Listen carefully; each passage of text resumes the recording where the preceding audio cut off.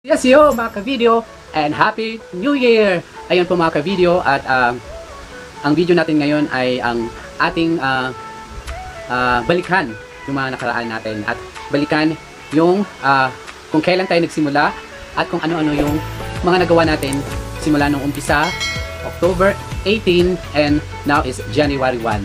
So ito yung mga update ko mga kapatid, mga ka-video, ito yung update ko at of course, uh, bago ang lahat, welcome to my channel and this is Billy Court na lagi nagsasabing, kamusta na ang ating mga ka-video natin dyan? January 1 na po at bagong taon, it's 2020. So ayan po, at ako ay magbibigay sa inyo ng panibagong video at ito ang aking uh, parang uh, rewind. Hindi, rewind ba siya? O oh, yan.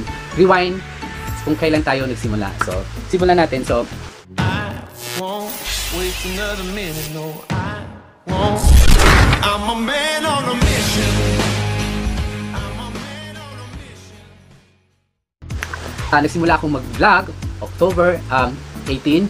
Yan, October 18. So, yung unang-unang vlog ko ay ang uh, yung uh, taga-kantin namin. So, nagluto siya ng ampalaya. So, yun yung ginawa kong vlog na ang ampalaya ni Ati Tata. So, ayan. So, yung pangalawa naman ay ang um, un, uh, yung pangalawang vlog ko ay ang parang nanood kasi ako ng sini that time. So, uh, hindi ko naman ayok, hindi ko naman isip yun na mag-vlog kung maigubag kung bagay kung kumbaga i-vlog ko yon so yun yung pangalawa ay ang aberya sa sinihan. So ang uh, pangatlo ay uh, uh, naisipan ko rin after na nag-workout. So yun yung uh, kubaw sa pagsilip. At of course dahil uh, medyo nag-upgrade tayo so bumili ako ng ng Boya mic so yun yung aking um, yung aking uh, uh, unboxing sa Boya mic at saka yung sa Yunting na na tripod. At yun ay wapak. Ayun So, yung next natin ay ang paggugunita. So, yan yung paggugunita sa namatay kong father at sa namatay kong kapatid. So, ang next naman yung undas.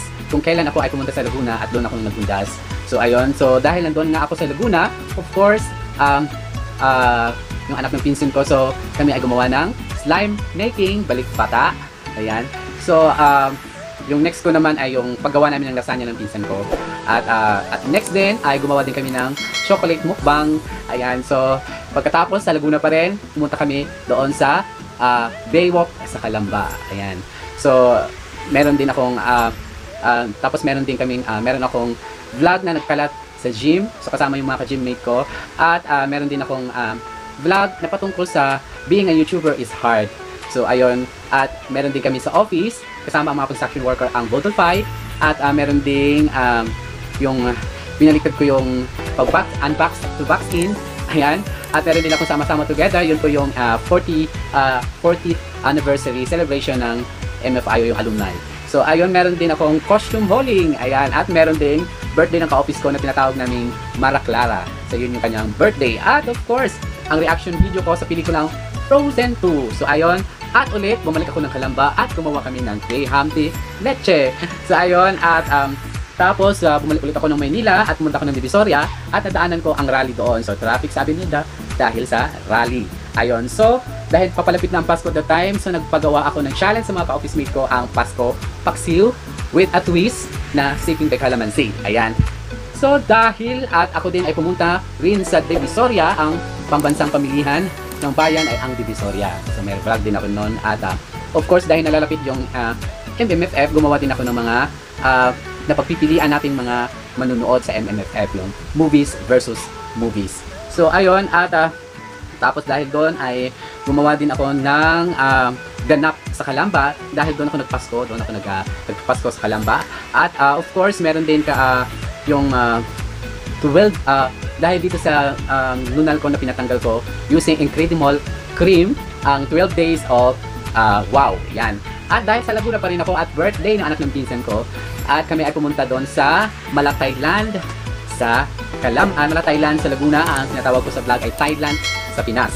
At of course, ang aming Christmas party, ang Vlogmas party, ang Christmas party namin sa office, at of course, ang aming Christmas party sa gym, ang Kampay, at of course, bumalik ulit ako ng Laguna, ay nagkaroon ulit ako ng vlog doon, ang Kabog sa Hatawan na Pasko sa Kalamba. At of course, ang Frozen Girl, ang aming office gate, office gate, office mate na nag-birthday celebration. So, ang kanyang team ay Frozen. Siya ay nag-celebrate ng kanyang birthday celebration as 60 years of age. So, ayan. At of course, dahil Pasko nga at sabi nila ay uh, panahon ng bigayan, so ang aming opisina ay nagbigay ng kunting um, kunting pamimigay lang sa ating mga kapitbahay na construction workers. At nag tayo ay nagpapa-feeding at gift giving ang share a blessing. And of course, hindi din pahuhuli dahil ako ay bumalik ulit sa Kalamba at yung pinsan ko dahil sabi niya magpapasko na at kailangan niya maglinis sa bahay. So ayun, um, so pagkatapos dahil nandoon din ako at ginawa namin ito, kung mayroong paglilinis ng bahay, meron ding pagkain haltenera.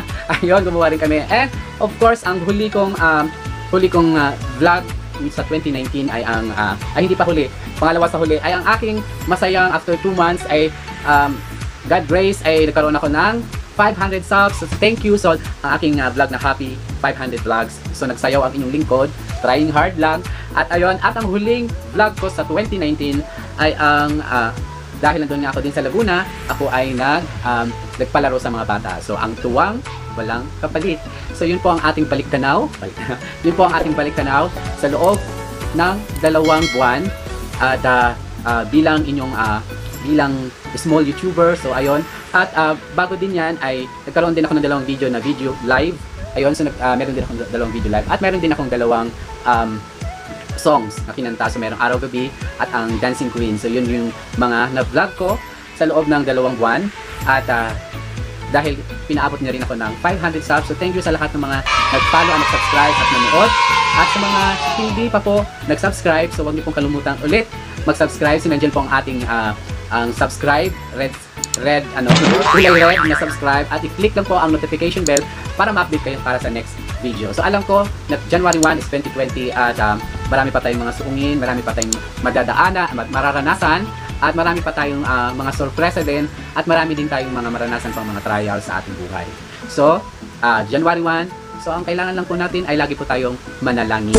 At ah, yun ang kailangan natin at dahil um, kung naging masaya man tayo bago sumapit ang 2020, so asahan din natin na tuloy-tuloy ang kasiyahan. Pero alam natin na um, hindi hindi lahat ng kasiyahan ay laging ay parang tuloy-tuloy. So, of course, may mga kapalit yan. So, dapat ay handa po tayo. So, ayun po mga ka-video, dito nagtatapos ang aking video at pagbibigay at pagbalik tanaw sa mga ah, nakaraan at yung pag-umpisa kong mag-vlog. At dahil sa inyo mga ka-video, salamat at pinaabot niyo ako ng 500. 500. Sana 500,000. Wow! So, ayun po mga ka-video. So, thank you and God bless and Happy New Year.